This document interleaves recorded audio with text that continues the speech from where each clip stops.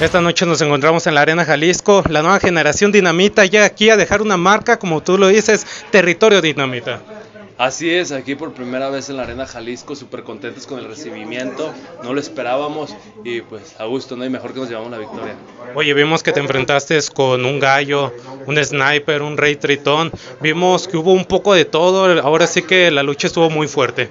Así es, unos rivales aguerridos, no por nada la escuela tapatía siempre ha sido de, los, las mejores, perdón, y unos rivales viejos conocidos ya, el Gallo y Tritón, entonces pues no se achicaron ni nosotros menos, ¿no? Les dimos la pataliza de su vida, estilo dinamita y pues ni hablar.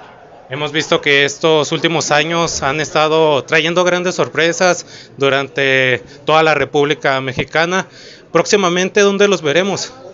Pues gracias por tu reconocimiento y próximamente estaremos el 3 de septiembre en Torreón, Coahuila y 18 de septiembre por Zacatecas. Y por Así Puebla y algunas en la periferia. Al pendiente de la nueva generación Dinamita. ¿Alguna sorpresa, algo que le quieran decir a los aficionados, que les tengan preparado, alguna pues, pista que quieran decir? Pues ahorita está, Cocinándose el está tema. cocinando el tema de música Territorio Dinamita con un paisano de Lagos de Moreno, con MC Monkey.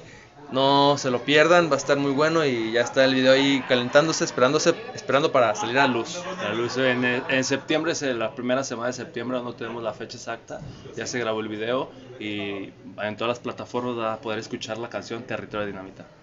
Bueno, pues agradecemos mucho sus palabras y bienvenidos una vez más a Guadalajara.